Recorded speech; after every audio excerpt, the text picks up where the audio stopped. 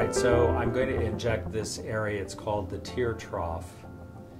And it's essentially the place where the tears run. In this location, right where my needle is, you can see a bump out here and then the indentation there. The first part of this that we're going to fill out today is that indentation.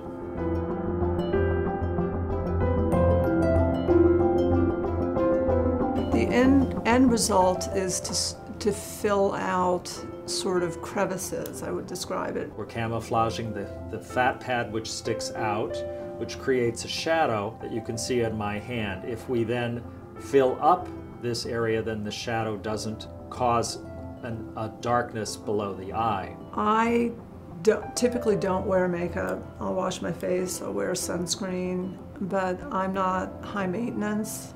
But by the same token, I'm getting older, and, and um, I, I think it sort of brightens your face a little bit, uh, you know, without, without surgery, without a knife. Go ahead and smile. Now notice, see how this, how the, the top of your cheek is now here, as opposed to down here on this side. Uh, because I injected you up here, it makes the center of the cheek appear higher. And the good news is, is that you can tell I'm smiling. yes. I would do it again in a heartbeat.